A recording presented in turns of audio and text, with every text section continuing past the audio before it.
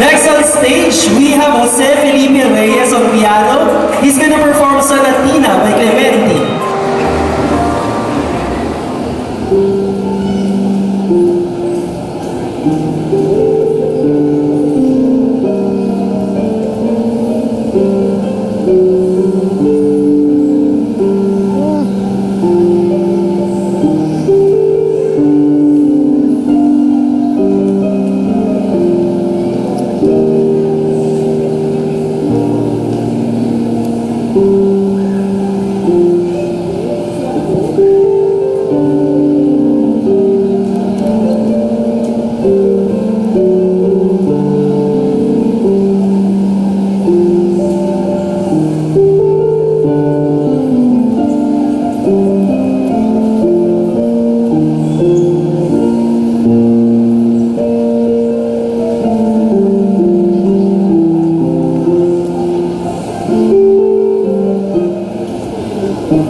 Thank